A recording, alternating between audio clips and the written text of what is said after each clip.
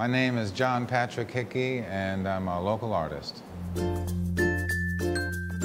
went to art school in Philadelphia for an associate's degree in advertising, learning how to work in ad agencies, drawing, painting, airbrush, drawing letters, basically things before the computer, and then right at the edge of the beginning of computers, and uh, moved back home here.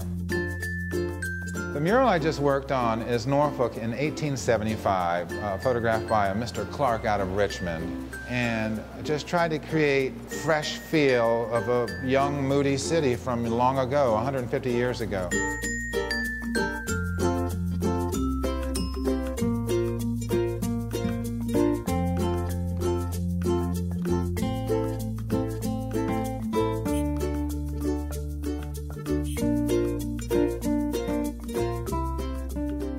Hickey to me is my last name, but it's also kind of not a tag, but my mark. Tells people that this person continues to do things around town that builds up to something. I would look at doing murals that would, would stay somewhat contemporary to the time, but also play off the past, but it's something that will probably mash the present and the past together.